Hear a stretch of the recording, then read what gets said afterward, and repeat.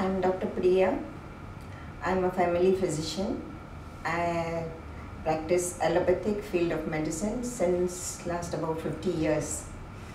I came across an ad in the newspaper about basic course in Brahma Vidya in which uh, breathing exercises and meditation is taught in a simple scientific way.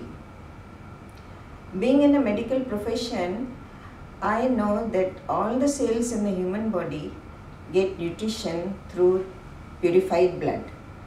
And for blood purification, oxygen is very important.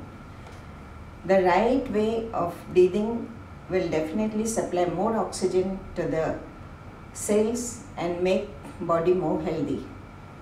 So this uh, motivated me to join the course and uh, I enrolled for the basic course.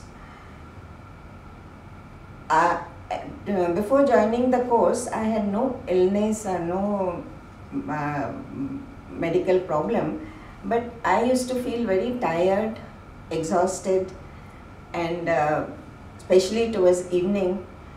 And uh, after practicing these exercises, as we were taught in the class, I felt more energetic, my stamina increased, and uh, also my interest in the profession also was better. It helped me in my professional life as well as my social life. And by practicing meditation in a scientific way, I have got more inner peace, tranquility, and positive in my thoughts.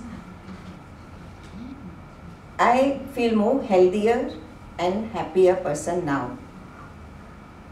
I, uh, my uh, humble gratitude to my teachers, my Guruji, for giving me this uh, great science and for um, making my life much more fuller.